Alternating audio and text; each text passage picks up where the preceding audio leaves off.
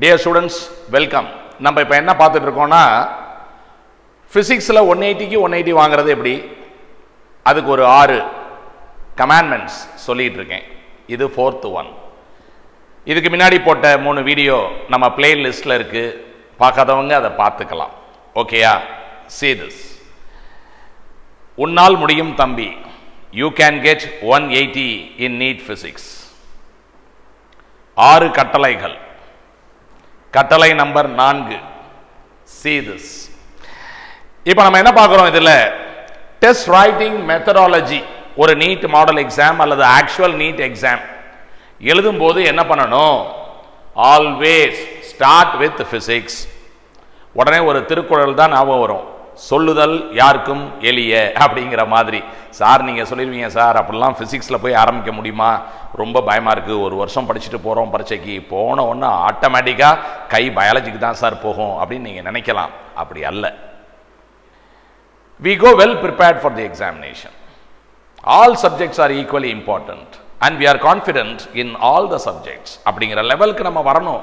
வந்து தான் பரீட்சைக்கு போகணும். ஸ்டார்ட் வித் பிசிக்ஸ் ரெண்டு மணிக்கு பரீட்சை ஆரம்பிக்குது ரெண்டுலேருந்து ரெண்டே முக்கால் வரைக்கும். ஒரு முக்கால் மணி நேரம் நம்ம ஃபிசிக்ஸில் ஸ்பெண்ட் பண்ணணும். அந்த கான்ஃபிடன்ஸ் வரணும் அப்படின்னா நம்ம இதை பார்க்கணும். Understand the questions so NEET exam அல்லது ஜெய் மெயின் எக்ஸாம் அப்படின்னா அந்த கேள்விகள் என்ன வரும்? எனி மல்டிபிள் சாய்ஸ் கொஸ்டின் கேள்விகள் எப்படி இருக்கும்? அப்படிங்கிறத பற்றி நம்ம கொஞ்சம் தெளிவு நமக்கு வந்து ஒரு கிளாரிட்டி வேணும். Concept based questions okay some direct concepts like ஒரு ஈக்வி பொட்டன்ஷியல் சர்ஃபேஸில் ஒரு சார்ஜை இந்த பாயிண்ட்லேருந்து இந்த பாயிண்ட்டுக்கு எடுத்துகிட்டு போகணும். அப்போ எவ்வளோ ஒர்க் பண்ணணும்? Direct concept work done is zero அந்த மாதிரி கேள்விகள் வரலாம். கொஞ்சம் கான்செப்டில் அப்ளிகேஷன் ஃபார் எக்ஸாம்பிள் இப்போ இங்கே பாசிட்டிவ் சார்ஜஸ் இந்த செவத்தில் இருக்குது இங்கே நெகட்டிவ் சார்ஜஸ் இருக்குது எலக்ட்ரிக் ஃபீல்டு போயிட்டுருக்கு அப்போ வந்து ஒரு ஏரியா நான் கொண்டு வந்து ஒரு ஏரியாவை இப்படி வைக்கிறேன். அப்படின்னா இந்த கோடுகள் இங்கே போய்கிட்டு இருக்கோம் இது வழியாக எதுவும் போகாது. ஓகே தட்ஸ் அ கான்செப்ட் இதை ஒரு ஃபார்ட்டி ஃபைவ் டிகிரியில் வச்சா என்ன ஆகும் அப்படி ஒரு கேள்வி. இது என்னது? ஃபார்ட்டி ஃபைவ் டிகிரியில் வச்சா என்ன? அந்த கோடுகள் வந்து இது வழியாக போகாது இல்லையா? அதை புரிஞ்சுக்கணும். அந்த மாதிரி கான்செப்டை கொஞ்சம் இமேஜின் பண்ணி கேட்கக்கூடிய கேள்விகள். Formula based questions okay formula based question direct formula like for example the torque experienced by the dipole is what அப்படின்னா this is the vector notation இதுதான் கரெக்டான ஆன்சர் நமக்கு தெரியும். ஸோ இது டைரக்ட் ஃபார்முலா வேற மாதிரி கொஞ்சம் இப்போ நீங்கள் நீட் ரெண்டாயிரத்தி இருபத்தி ரெண்டு எழுதுனீங்க.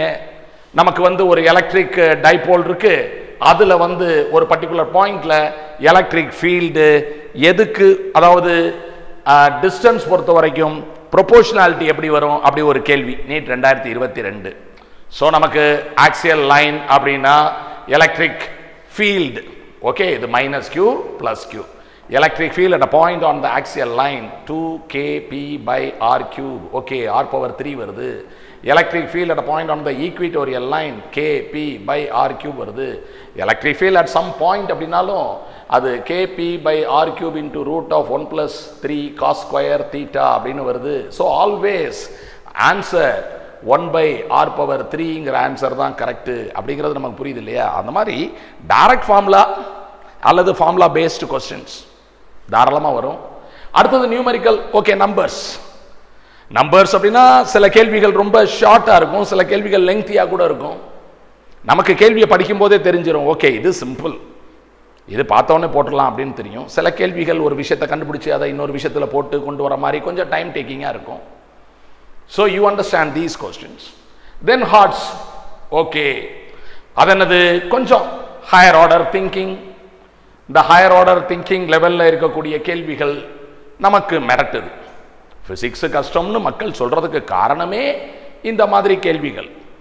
அது என்ன? ஐம்பது கேள்வியில் ஒரு அஞ்சு கேள்வி வரலாம் பத்து கேள்வி வரலாம்.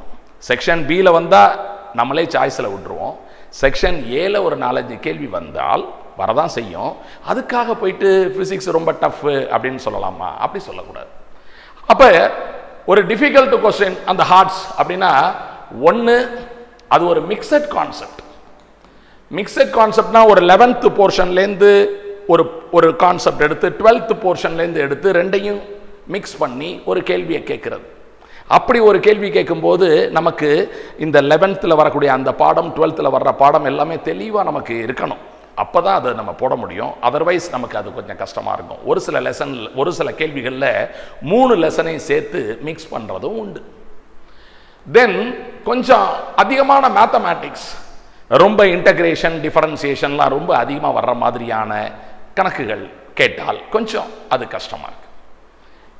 அதுக்கப்புறம் கொஞ்சம் இமேஜினேஷன் அதாவது அந்த டீச்சரோட இமேஜினேஷனை சொல்கிறது ஒரு ஹைட்ரஜன் ஆட்டம்னா ஒரு புரோட்டான் இருக்கு ஒரு எலக்ட்ரான் இருக்கு நமக்கு தெரியும். ஒரு கற்பனை இந்த சார்ஜ் வந்து இ பிளஸ் டெல்டா இ இருக்கு அப்படி கொடுக்கறது. எலக்ட்ரான் போகுதுன்னு சொல்லாமல் முயான் போகுது. அந்த முயானுக்கு மாஸ் வந்து two nought seven times mass of electron இருக்கும். அந்த மாதிரிலாம் கேட்குறது. Some imagination by the examiner அந்த மாதிரி கேள்விகளை கொண்டு வரும்போது கொஞ்சம் கஷ்டமாக இருக்கலாம். ரைட்டா ஸோ இந்த மாதிரி தான் கேள்விகள் இருக்குங்கிறத நீங்கள் நல்லா புரிஞ்சுக்கணும்.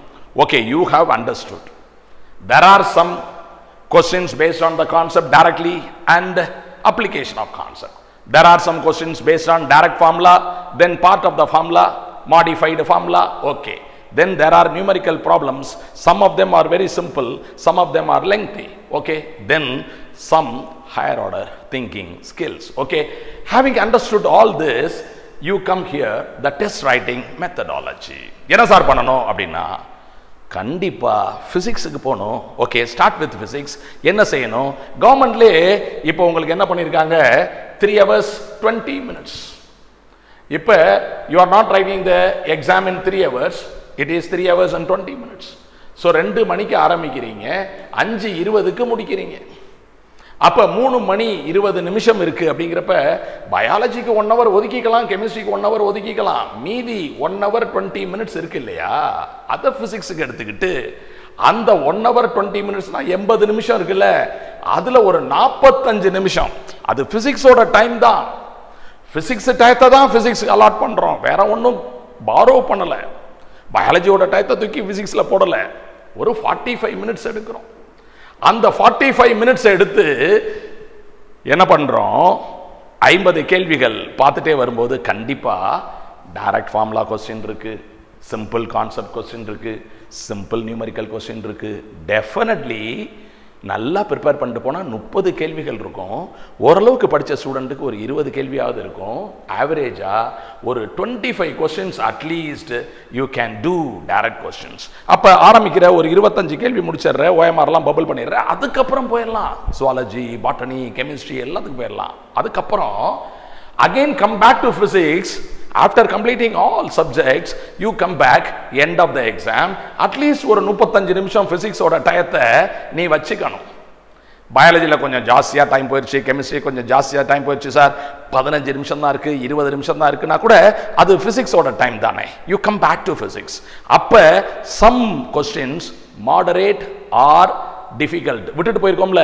அந்த கேள்விகளை எடுத்து எந்தெந்த சாப்டரில் நீ ரொம்ப ஸ்ட்ராங்கோ அந்த கேள்விகள்லாம் சூஸ் பண்ணி பொறுமையாக அதில் போட்டு எத்தனை கேள்விகள் போட முடியுமோ அதை நீ பண்ணணும். ரொம்ப ரொம்ப முக்கியம். அப்போ எண்ட் ஆஃப் த எக்ஸாம் ஒரு நாலு ஐம்பது நீ ஃபிசிக்ஸ் வந்துட்ட. சூப்பர் முப்பது நிமிஷம் இருக்குது ஸோ இது வரைக்கும் இப்போ ஃபிசிக்ஸில் ஒரு இருபது நூறு மார்க் வாங்கிட்டோம். தென் பாட்னி சுவாலஜி எல்லாம் முடிச்சுட்டு கெமிஸ்ட்ரி முடிச்சுட்டு வந்திருக்கோம். இப்போ மறுபடியும் ஃபிசிக்ஸை ஸ்டார்ட் பண்ணுறோம் கம்ஃபர்டபுளாக இருக்கும். இப்போ நம்ம கஷ்டம்னு நினச்சி விட்டுட்டு போன கேள்விகள் எல்லாம் இப்போ கொஞ்சம் ஈஸியாக இருக்கும். இப்போ நம்மளால் அதை அட்டன் பண்ண முடியும் முடியும். ஏன்னா நம்ம மைண்டு வந்து கான்ஃபிடண்ட்டாக இருக்கும் சந்தோஷமாக இருக்கும். எக்ஸாமே முடிய போது நல்லா எழுதியிருக்கோம் அப்படிங்கிறப்ப மீதி கேள்விகளை நிச்சயமாக ரொம்ப நல்லா நம்மளால் எழுத முடியும். அதை எழுதி ஆஸ் ஹை ஆஸ் எவ்வளோ மார்க் நம்மளால் அதிகமாக வாங்க முடியுமோ அதை நம்ம வாங்கணும் அப்படிங்கிறது முக்கியம். சார் என்ன சார்? எக்ஸாம் ஃபைவ் டுவெண்ட்டி வரைக்கும் வந்துட்டீங்க. அப்போ இன்னும் ரெண்டு கட்டளைகளில் என்ன இருக்குது அப்படின்னு உங்களுக்கு இருக்கும். என்னடா அது கடைசி கிளைமேக்ஸே வந்துருச்சு அப்படின்னு. இருக்குது விஷயம் இருக்குது அடுத்த வீடியோவில் பார்ப்போம். தேங்க்யூ